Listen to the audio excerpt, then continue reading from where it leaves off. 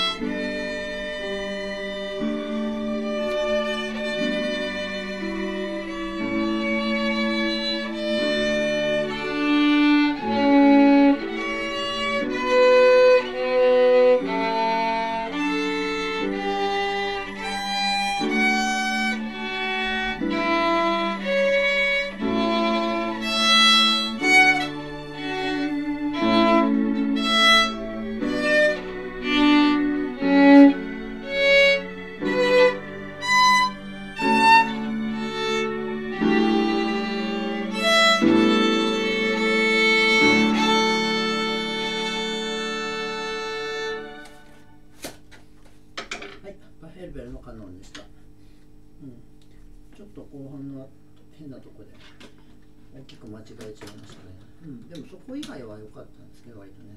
そこが間違っちゃったのが残念でした。